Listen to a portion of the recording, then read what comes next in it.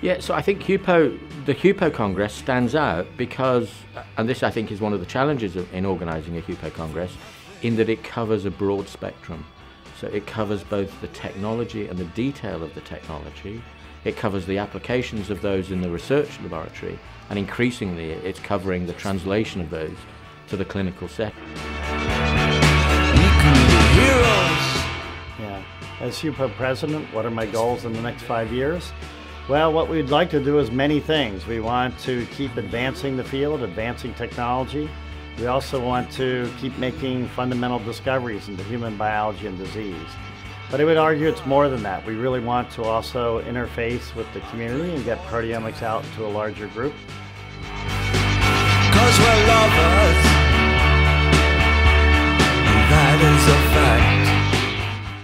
Just over a year and a half ago, as Vice President of the United States, President Obama put me in charge of what we refer to as the Cancer Moonshot our effort to put together a strategy to end cancer as we know it today. And uh, Heaney had a line in The Cure at Troy that I think best characterizes where we are today.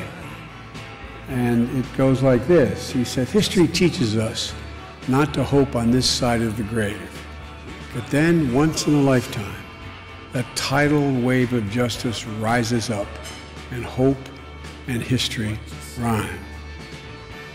And I can't be with any more prominent group of people who may be responsible for making hope and history rhyme than all of you in this room today.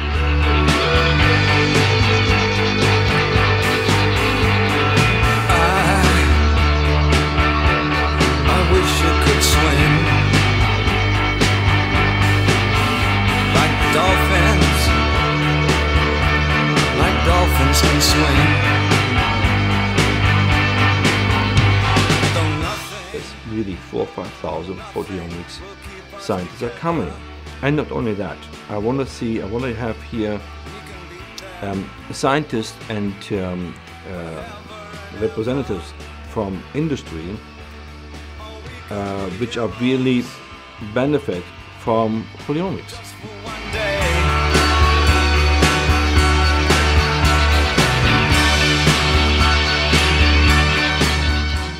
I think it's super important to involve the general public for many reasons. First of all, they are helping us to classify images. We're saving a lot of time thanks to the players. We're also, uh, it's also a very good uh, way of reaching out. For the first time, we're going to be teaming up a proteomics laboratory expertise with an ongoing NCI sponsored clinical trial.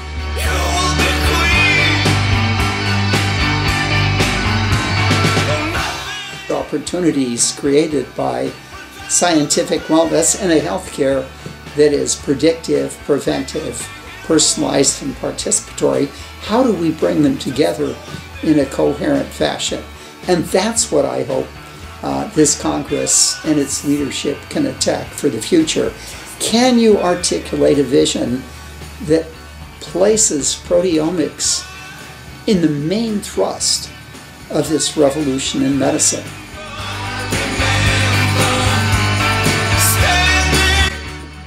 My, my advice to students would be um, never give up.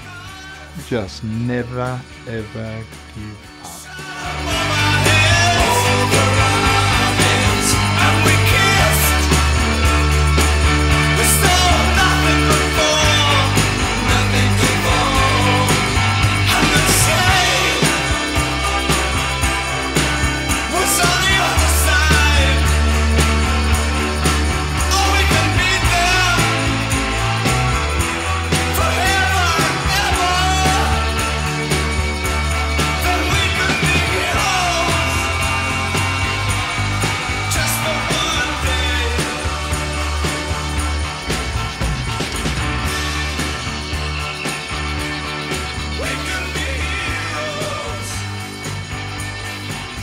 Come to Orlando. We'll see you there.